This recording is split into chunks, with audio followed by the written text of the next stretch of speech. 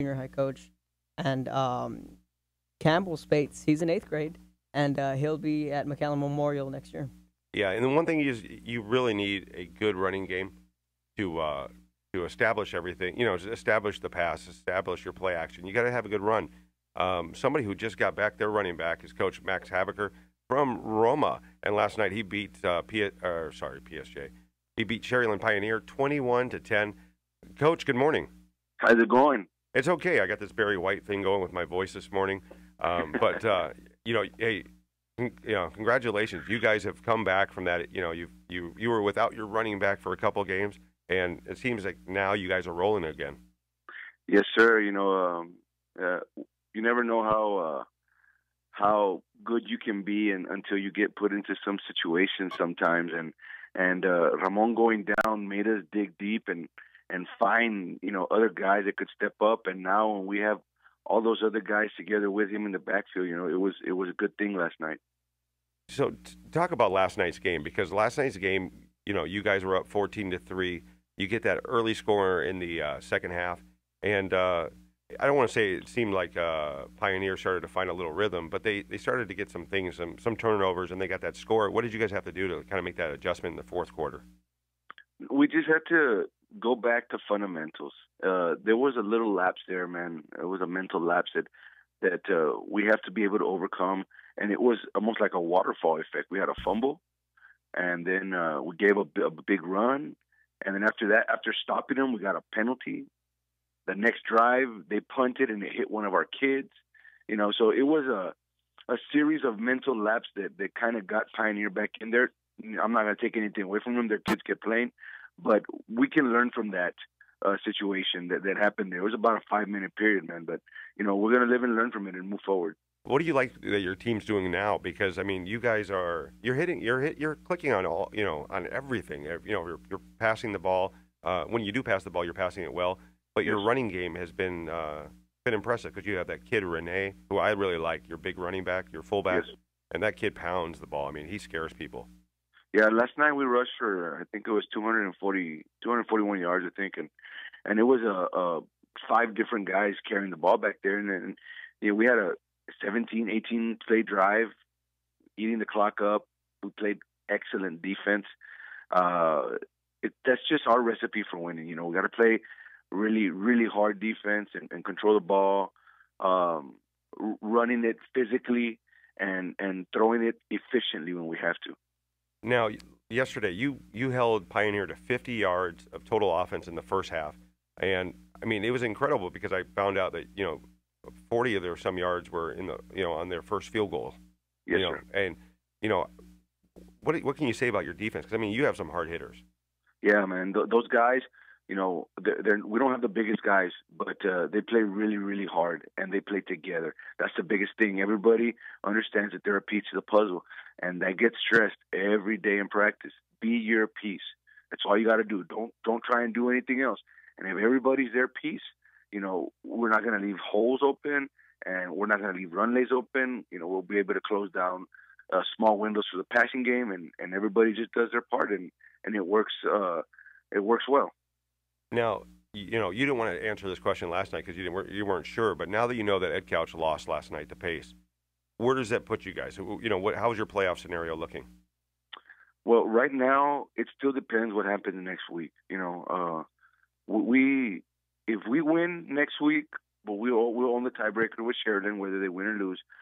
Uh, so we'll we'll be the higher seed, and I guess it also depends what happens over there, or is uh, the top two teams are already determined on that side. I believe Donna and Mercedes are only have Yeah, one loss apiece. Yeah. So if if we win, we play uh, Edcouch, and if we lose, and and, and Sharyland wins, then we're going to play Mercedes. Oh wow. Yes, sir.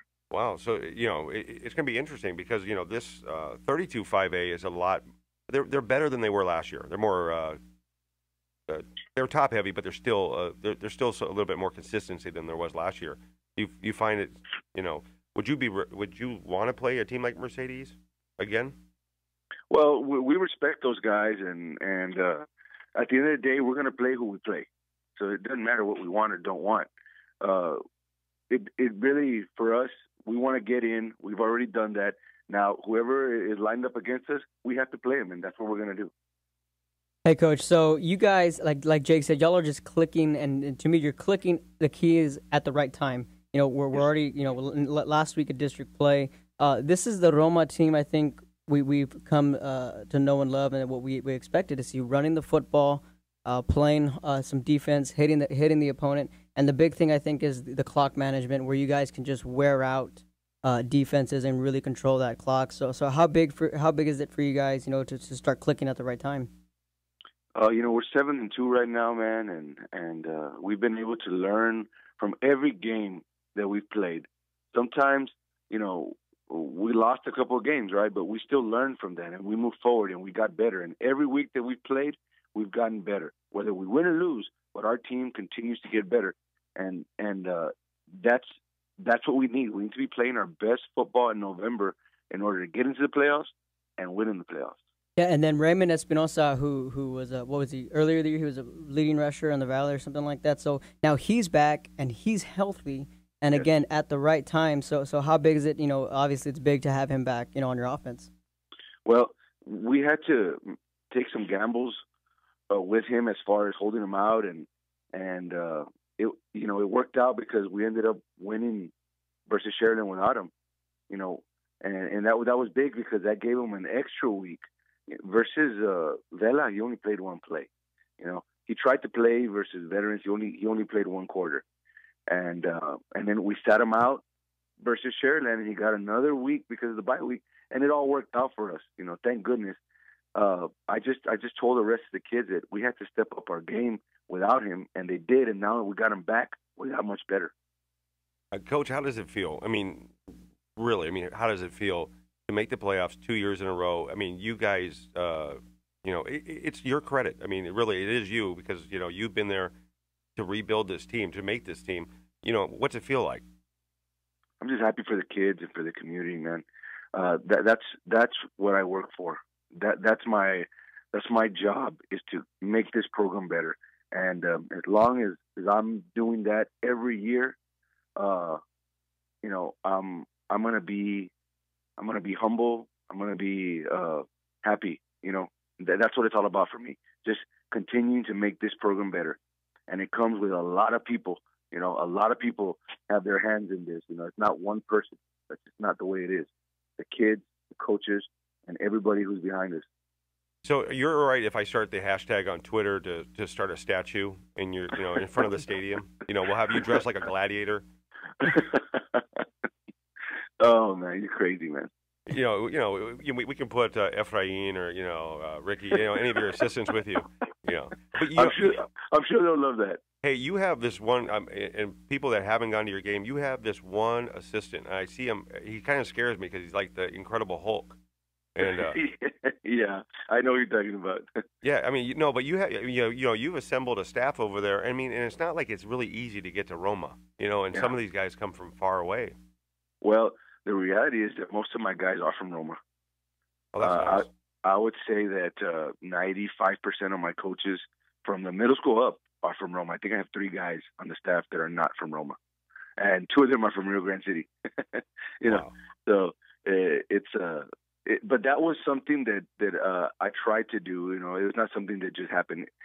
It, it took some time to figure out, but you know, I kind of I kind of thought through it and said, you know what, uh, nobody's going to care more than the guys that played here because we struggled when we played here. You know, we, we won some, some games, but we could never get in. So by bringing people back who have been through it and understand what it takes here in Roma to win, who have been in the locker room as a player and seen what hope. Oh, I think we lost coach. I think we lost coach right now. He uh, this feels like when I hang up on my sister on purpose. But uh, we'll get Coach Habecker right back on. But you know, he's it's true. I mean, most of his staff. I mean, I, I actually used to play basketball with his staff, so um, you know, it, has been incredible. I mean, what he's been able to do over there because uh, you know, I, I played basketball with his staff. I mean, he's got a great staff. He really does. Yeah, and was it was it you know last year? Was it the first year they, they made the playoffs? Right? Yeah. Did, did we get him back? Yeah. Hey, coach, are you there? Yes, sir. Okay, you were just talking about how you're going to beat everybody in the playoffs. Oh no no no, no man. We're we're gonna wherever we got to play, uh, we're gonna play uh, um, physical and and we're gonna get after it. That that's the bottom line. That's just what we're gonna do. Whoever it is, we're gonna play. Yeah, you know, and you know, I, I think what you guys did last year, you know, you kind of shocked the world, and I mean, you know, your second round game, you you know, you guys still were in that game.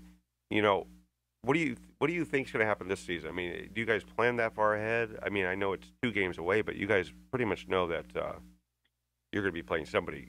Over, yeah, over but, but way. we don't. We're not going to plan that far ahead. We're going to focus on the task at hand uh, because that's what's got us where where we are right now. By not planning ahead, by staying uh, staying with our feet on the ground and looking at what's in front of us right now, not tomorrow, but today. Coach Max Habecker from Roma is on the line with us. Coach, uh, you know, I go places and now people actually, they'll, you know, they'll talk to me about Roma football. I mean, they see this show that I do with uh, Greg. You know, they see this the, the radio show or they listen to the radio show. People are really enthused about Roma football. I mean, that you know, it's be- before it was basketball. I would always hear Roma basketball because I knew a bunch Yes, of basketball players. But it seems now you flipped the switch. You flipped the script on people.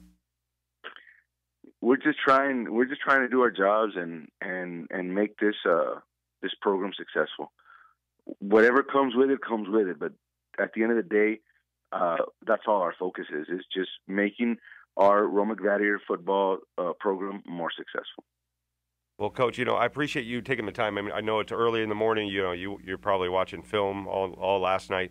But uh, Yes. you know, thanks for thanks for talking to us this morning, and uh, you know, I'm sure we're going to be talking to you next week and the week after. it's my pleasure to be here guys All right, thanks, Coach. I appreciate it. I'll Thank start that hashtag for you. see you later man See you, Coach. Y- Awesome, awesome guy. I mean, young coach too. He's a young coach. Absolutely, and, the, the way that program jump started last year with them going three rounds deep was, was amazing. And uh, you know, Jake, I really think you know they can do it again this year because you know the the recipe for any team to be successful in the playoff is to play defense and run the ball and control the clock. And that's what Roma does. That's their bread and butter. And then again, like you said, with a healthy Raymond Espinosa in the backfield, and then you mentioned they got another fullback back there. Yeah, So, Rene. Ren- They, they call him Rene. That's all I know. He's Okay, like a, he's so like a Brazilian soccer star. Renee.